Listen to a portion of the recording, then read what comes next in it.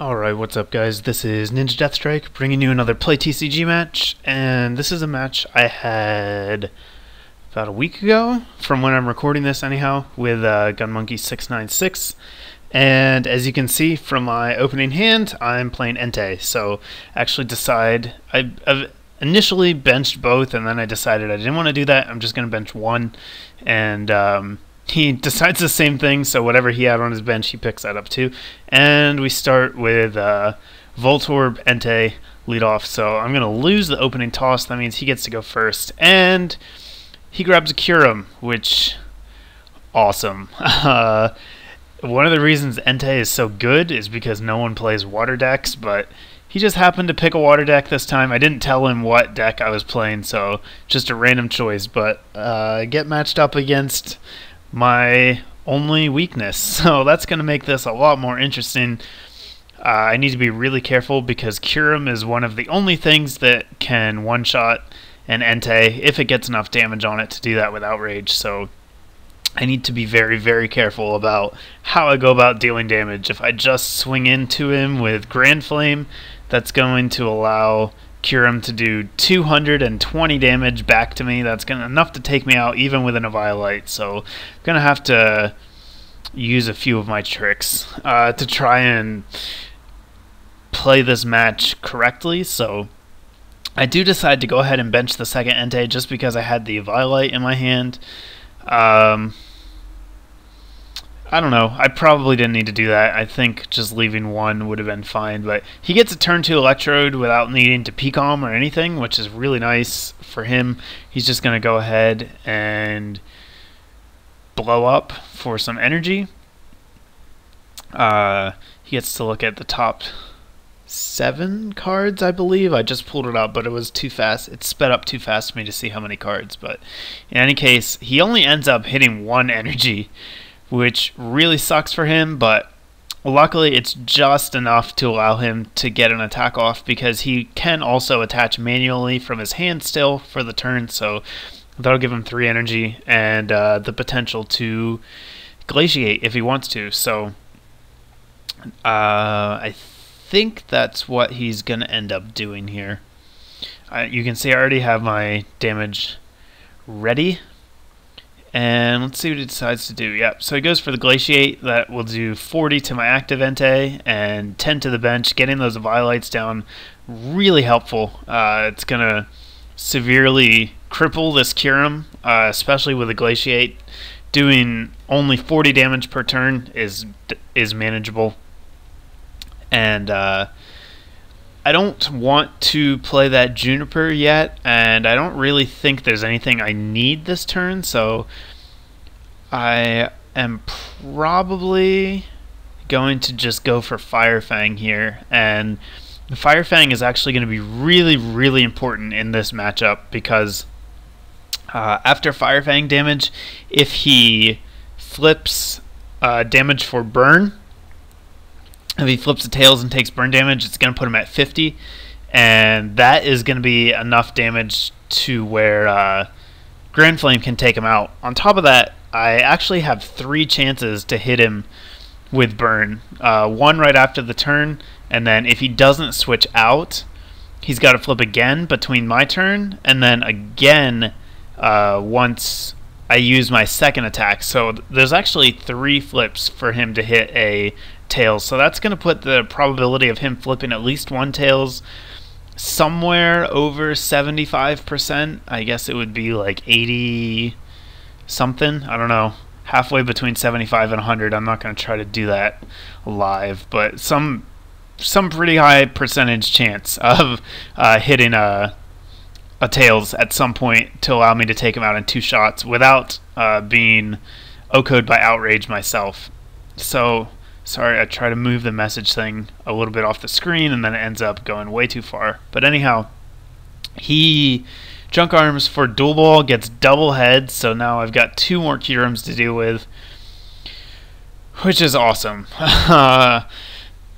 just gonna be really annoying. Um, he also shows me that he plays experience share as well as electrode, so that's gonna allow him to uh, conserve the energy he does have in play And here he hits me with an outrage and puts me at 130 damage. So got a lot of damage going on.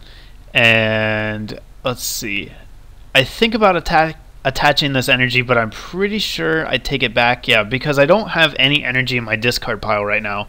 So rather than um, go for that, I'm just going to Juniper. I should have used that Junk Arm to get something back, at least the potion. Uh, so that was a, minor misplay there. I could have healed a little bit of damage, but now that I have a Fire Energy in the discard, I can go ahead and attach the new one to Entei. That's going to start to let me get my acceleration going. Uh, as far as the rest of this hand goes, I didn't really draw into anything too great here. Uh, the potion definitely matters. It's going to put me at 100. That means even if he goes for Glaciate, I am not going to die. So that was really nice, but I don't really have any other choice than to just take the KO on the active Kyurem. Uh, I could have... No, I think I drew the catcher off my prizes. Never mind. That wasn't an option. But uh, he obviously is going to promote the Kyurem that got the experience share, and it looks like he's stuck as far as his hand goes. He uh, doesn't do anything but just draw an attack. So he hits me for uh, 40. No? Oh, he had to use outrage because he didn't have any energy. So he just hits me for 20. And um, I'm going to go ahead and catcher and take a prize on this Voltorb while I can. I guess I decide to bench that third Entei. I don't like that move. I should have kept it in my hand for at least one more turn.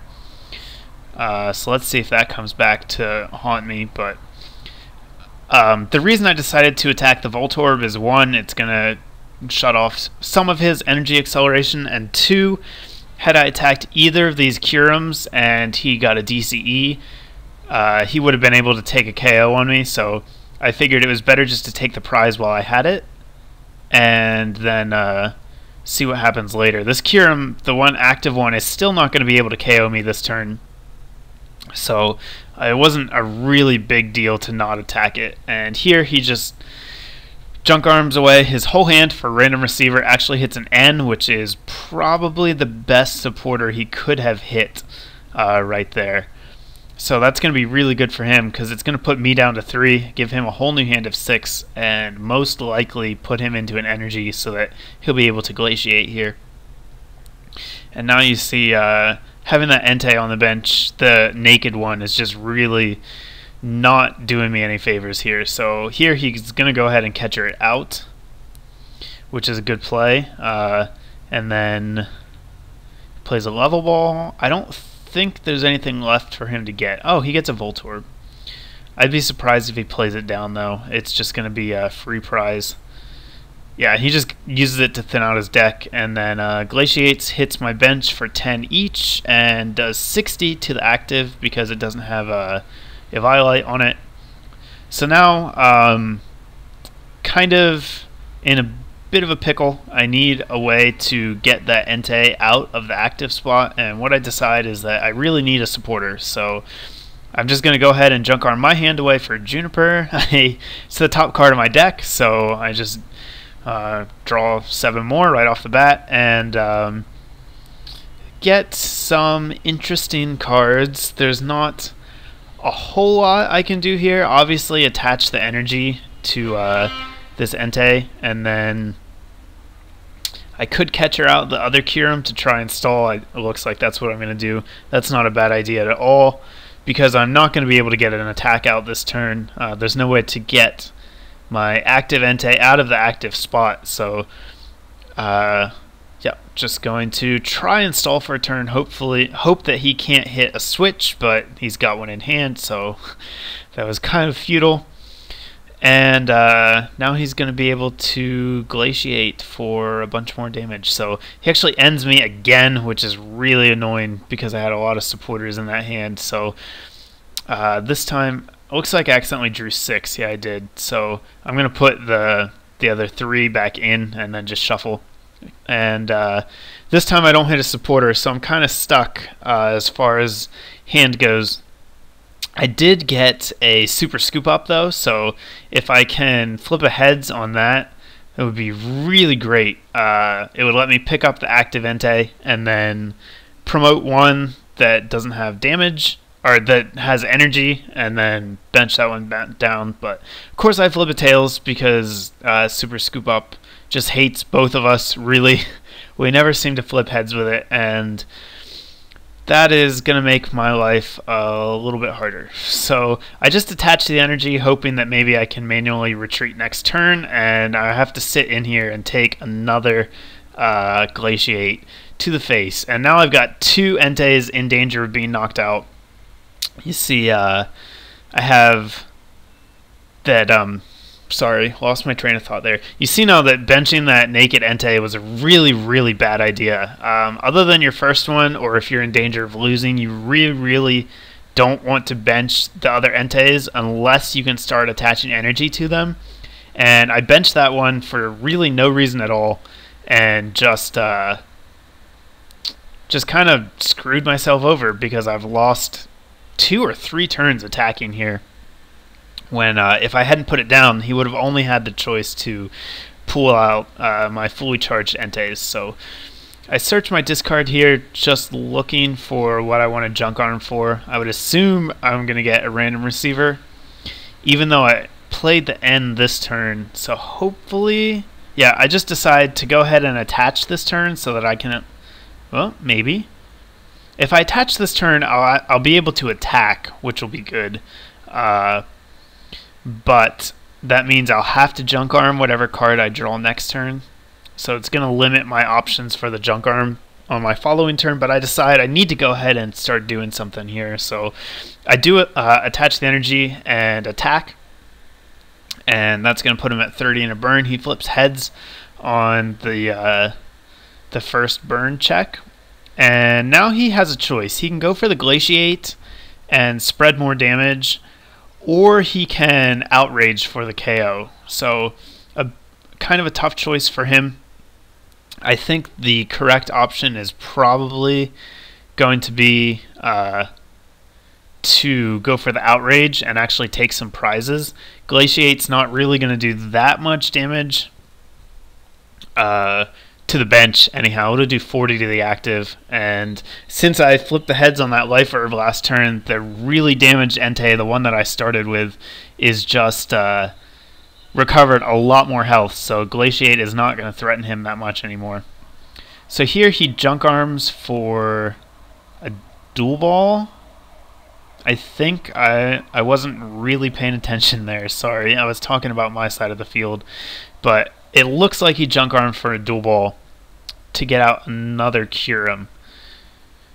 Which uh, I don't know. I don't I, I don't think it was necessary to do this turn.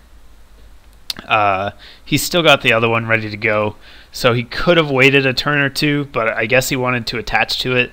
And I see now he had the juniper. Okay, that makes a lot more sense. Then yeah, there was no reason not to do that, and uh, yeah, he was going to juniper his hand away anyhow. So that makes a lot more sense. And now he gets another double heads with this dual ball.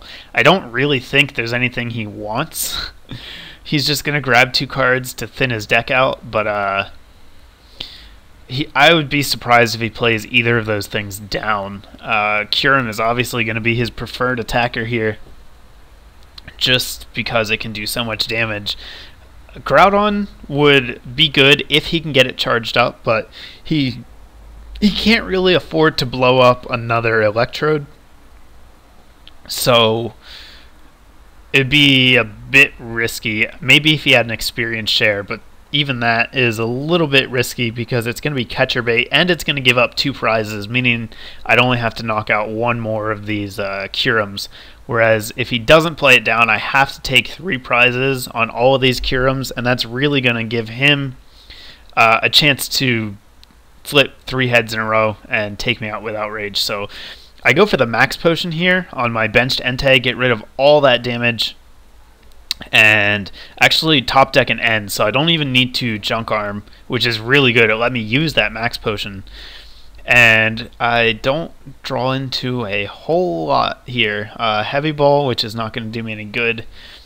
And a life herb and a switch. So I decided to hang on to the life herb just because I'd like to get the maximum amount of healing out of it if I can. Uh, I need to do my math and make sure that I'm not going to be KO'd uh, here. So what really what it really comes down to is I have to go for the Grand Flame and hope he flips the tails, which he does. Uh, that allows me to take him out. Uh, I needed to to kill that thing. Is was my mindset. It was pretty risky going for the Grand Flame because had he flipped a heads, he would have been able to outrage me uh, for the KO, and that would have been bad. Especially since I only had an Entei with one energy. Um, things could have gone south very, very quickly, but I felt like I was kind of in a corner and I needed to take a prize there. So I took a huge risk, which luckily paid off for me. And now I'm in really good position. So now that I have um, 80 damage, I would assume I'm going to go for the life herb here. Uh, I go for the heavy ball just to see what's in my deck, and yep, there's the life herb. Hit a heads, so I get to heal 60 damage, which is amazing. And now there's not a whole lot else for me to do except go for a Fire Fang. And he flips the heads here. The reason I went for Fire Fang over Grand Flame, like I mentioned before, I don't want to get obliterated with Outrage, so it's really imperative that I get the uh, the 20 extra damage from Burn to be able to take him out the next turn. So seeing that and recognizing it, he actually uh, hard retreats into the other Kyurem here discards two energy, which is going to hurt him just because he's got to be running pretty low on energy now. There's no way to get that back from the discard, so his least, his resources are pretty limited here, but he recognized that he needed to do something in order to uh, keep that Kyurem from being knocked out. So he goes ahead and retreats. He did have the other energy in hand, so he's able to glaciate again and uh, luckily, really luckily, I top deck that oak. That was a, a really lucky top deck for me. I flip ahead uh, tails on the life herb, but it's not a huge deal yet. So the oak does get me into another fire energy, which is really, really important because it means if I need to Grand Flame, I can guarantee that I charge up this second Entei. So here, I go for the potion. Uh, and I'm assuming I don't have time because it's sped up so much. I'm assuming when I play these, I'm doing math and that they're actually putting me away from certain KOs. I need to be careful of that other Kyurem now that it uh, only has 30 damage. Uh, it can. I'm going to have to use Fire Fang again, which will put it at 60, which will mean uh, Outrage does 120, so I need to make sure that I stay at enough health where I can survive that. And so that's why I play the Switch as well. I only need to use Fire Fang this turn, and so I uh, just switch into the Entei that only had 2 energy but only has 20 damage, which is kind of important here. Because now uh, Outrage won't kill me. But he... Uh, he retreats again, and now it's getting a little bit tight. He's discarded four energy in the last two turns, uh, which is a big deal. He told me he was playing a ridiculous amount of energy in this deck, uh, like 18 or more. So he's got a lot of energy to spare, but he's burning through it really fast. And uh, it's definitely going to come back to bite him. So now I'm in a bit of a predicament. Uh, this Kyurem, the active Kyurem, cannot be KO'd by Grand Flame. It'll put him at 110.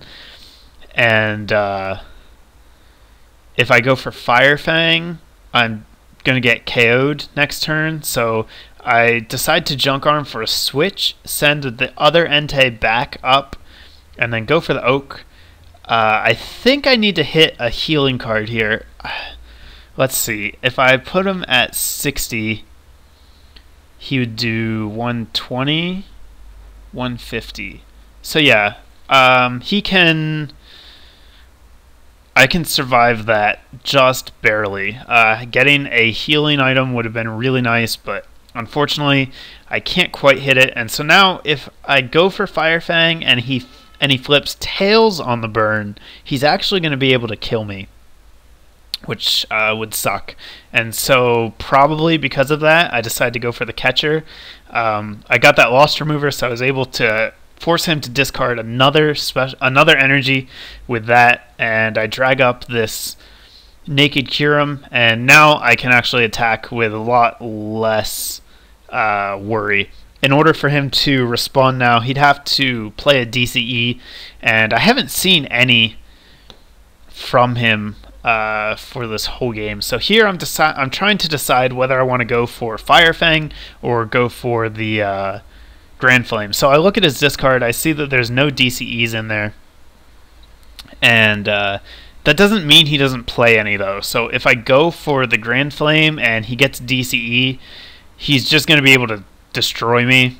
Uh, if I go for the uh, if I go for the the Grand Flame, if I go for the Fire Fang and he flips the heads, there's no way for him to KO me, even if he does get the DCE. So I decide to take the safe play here, having already taken a really big gamble uh, with the that attack earlier, the Grand Flame earlier, banking on the um, coin flip. So it turns out he doesn't have a DCE. He shows me his hand. It's just Groudon and a bunch of energy, which he doesn't need now. Uh, he kind of discarded all of his, or a lot of his non-energy cards with that Energymite at the beginning. So I go ahead and play my level balls just to look at my deck and see what's there. As you can see, my deck is incredibly thin, and uh, I need to be very careful about how I do things. So I obviously do not play the Juniper because I don't want to make myself lose. And I just go for the attack. I decide to attach the energy through Grand Flame rather than from my hand just because uh, I want to keep cards in my hand in case I need to use that oak to prevent myself from decking out. So he does decide to go ahead and bench the Groudon here, which seems like an odd move. Uh, I guess it does have 180 HP, and it's going to be really hard for me to knock out.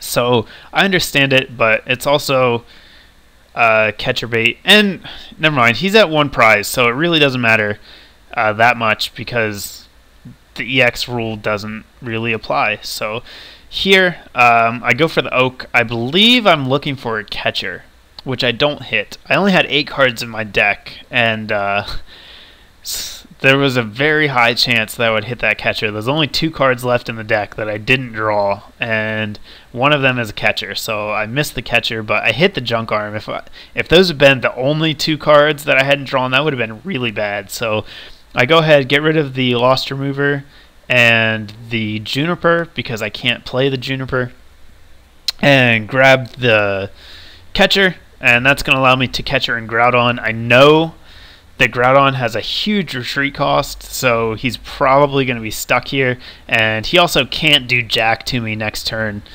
without uh, yeah, he can't hurt me. There's no way to get three energy on him, and Trample's not going to do anything. So I see, uh, shows me his hand again, and he's just got a bunch of energy. So he's going to go ahead and scoop, knowing that there's no way for him to get out. So turns out uh, dropping down that Groudon really was uh, the end of his game. But I don't think it would have mattered either way because I could have just. He still had to take four prizes, so I could have afforded to just attack with Entei, even if I lost it, and then come in and revenge him with the other one. So that's going to be the match. Uh, I hope you guys enjoyed it. Hope you like the deck. I really enjoy playing this Entei deck. It's a lot of fun, and I'm glad I got to put up another video with it. So leave me a comment. Let me know what you think about the deck. Uh, thumbs up if you liked the video, and I will have another TCG match coming your way sometime, hopefully within a week. I know I've been slacking on the uploads a little bit, but I haven't been playing as much just because I've been busy. So, anyhow, I'll have some kind of video coming your way shortly. Stay tuned for that, and thanks for watching, guys.